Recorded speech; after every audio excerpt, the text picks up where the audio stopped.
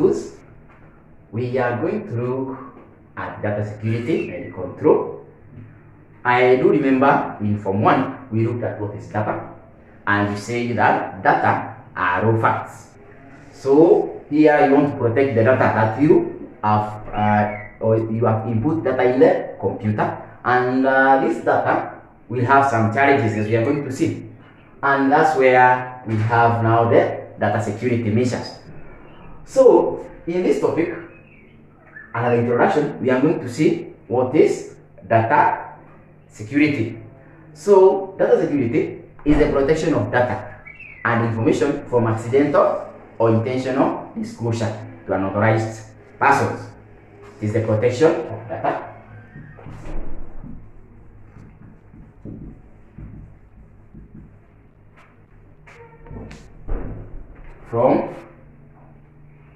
accidental or intention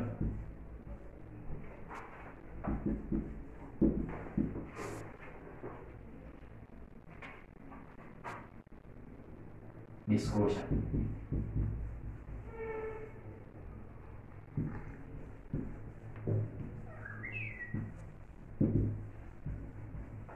So, when we say uh, accidental, this one means at times somebody might access your data without the, the, their uh, knowledge or without knowing. So it is accidental. Somebody might not be having the intentions to view what is in your computer, but accidentally they get the information. Other people will do it deliberately, and that's what we are saying, intentional. Doing it uh, deliberately. Now, we want to see which are these threats or uh, insecurity. What are we securing from? So security threats to data. And the first one is computer viruses. So security threats.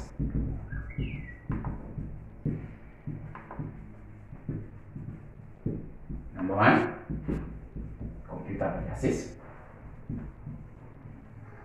This is not the first time that you are hearing of a virus in computer.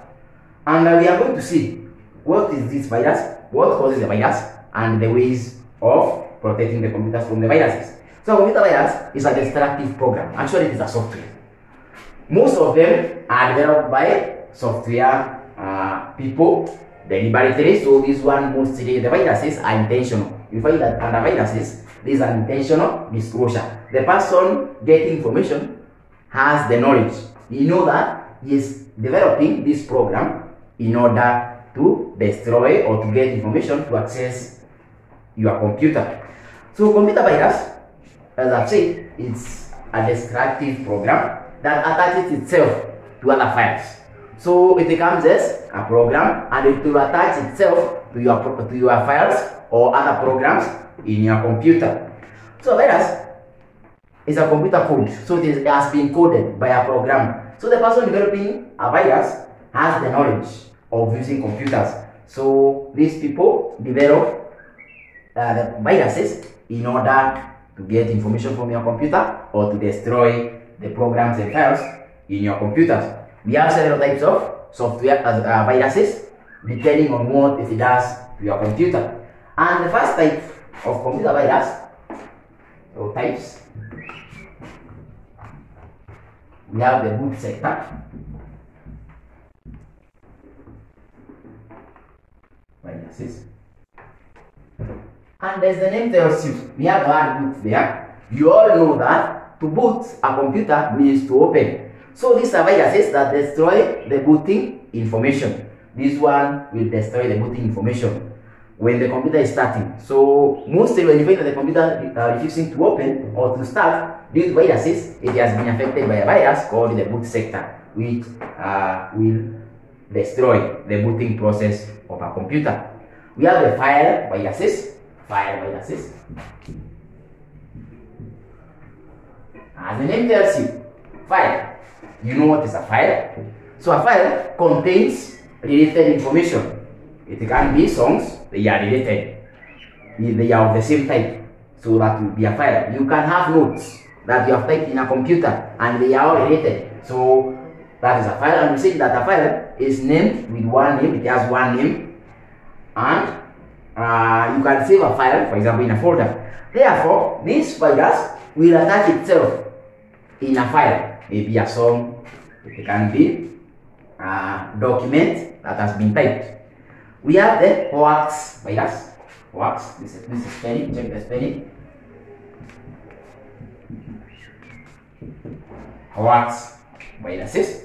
They come as emails, very good email and very attractive. So you go to open an email and then you find that it has been sent as a virus. And when it attaches itself in your computer, it will start skipping from this file to another one. Mostly it will also uh, destroy the files.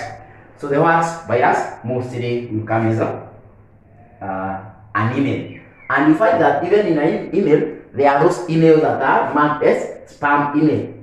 Could be your TV spam. Spam email.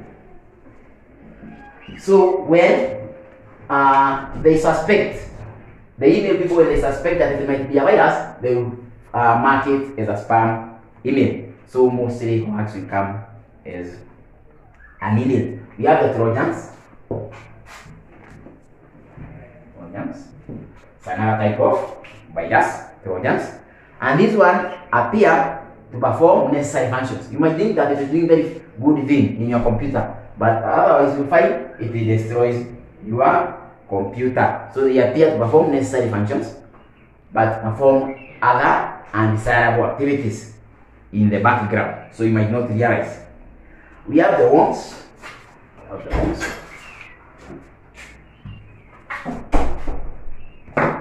Worm virus. So we have fifth. Worms. Viruses. Worm viruses stick in the computer memory. So this one will affect the hard disk. They, is, uh, they affect the computer memory. And then you have the backdoors. Backdoors. Last but not least, backdoors viruses. And these ones may be Trojan or worm that allow hidden access to your computer. So this one will uh, make people to view what is in your computer. Sources of viruses. Somebody might ask, where are these viruses coming from? We have looked at one source, as we were explaining, but now let us see other sources of viruses.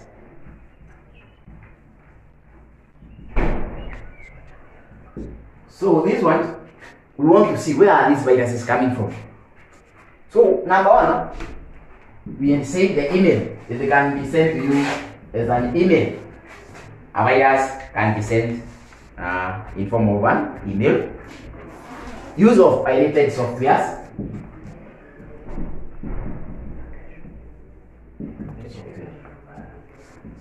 When you talk of pirated softwares, uh, you have heard the term piracy.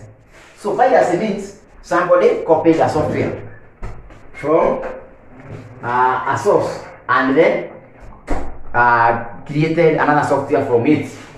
It was created by a owner, but now somebody will duplicate that software and it might contain a virus. Another one is sharing storage media. Sharing storage media.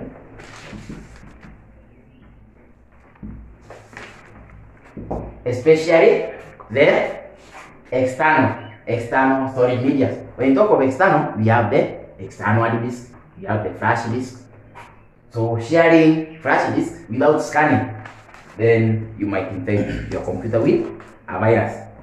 Another way uh, is from the internet. Internet. So visiting some sites, and especially the dirty sites. For example, you watch uh, things like pornography, you might find that these are things that might bring viruses. So avoid visiting some of the sites, and especially if you are not very sure of which site you are downloading from. So those are the ways how a computer can get a virus. How do you know that a computer is infected with a virus? So ways or how do you or symptoms of a computer infected by a virus. Now symptoms of a computer infected with viruses. We have the boot failure, you try to open the computer and it refuses to open. Alternatively, it takes too long to open. Then uh, this computer might be infected by a virus. Other cause, things can cause, but that could be one reason. Another one, you have the files and program disappearing. You receive something, for example, in the desktop, only to open your computer and then you find uh, the file or the program has disappeared. Therefore, that computer could have been infected with viruses. And that's what you hear people saying, my file has been eaten by a virus. So, that is another thing. We have unfamiliar graphics or messages keeping appearing on the screen. They just pop up and then you are not requested for these messages or graphics like a picture but it keeps appearing on your screen when you're working with your computer. Therefore, that computer might also be affected by a virus. We have corruption of files. When you say that a file has been corrupted, there is a difference between corruption and the program disappearing. They are kind of related, but they are different. Corruption of a file, you find that the file is there, but when you open it, it, is opening something different. Not like you had saved it. I have typed something or a document computer only to open and then I find it has used uh, characters or letters that cannot be readable. You cannot be able to read. You might find even using uh, things that are looking like Chinese language or something. So that is the corruption of file. We have another one, the frequent reading stroke write errors. When you talk of reading and writing, you understand that this means to read is to get data from a computer. For example, when I want to transfer a document from the computer to a flash disk, it is reading. And uh, to write is to enter. So to read is to now to extract something. Sorry, to read is to extract. For example, I have a flash disk. I want to read data from it. I want to open. Then I will say I'm reading data from the flash disk. This one now you find that the computer infected by a virus might not open or taking too long to open a file that you want to read. To write now is to copy something from the computer and then you put, for example, to another storage media. So the computer affected by viruses could have that problem. We have program taking long to open. So it is very slow. You find the computer generally it is slow. It is taking time to open the files, to them. So then the computer could be affected by a virus. We have the gradual restarting of a computer. When you are using it, you have not asked the computer to restart, but it just switches off and then it will restart again. It restarts itself.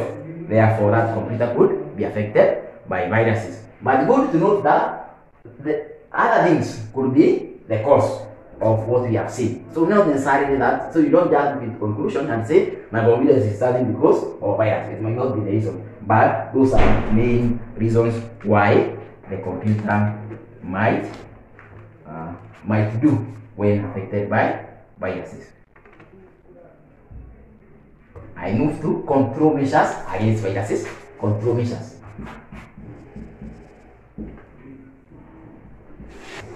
We have the control measures from the viruses. One, you have to, it, it is good to install antivirus softwares. You know of so many antivirus softwares. You have like the Kaspersky, you have the Smadav. Look for the best so that you use the antivirus to scan if it is external devices or emails that you suspect.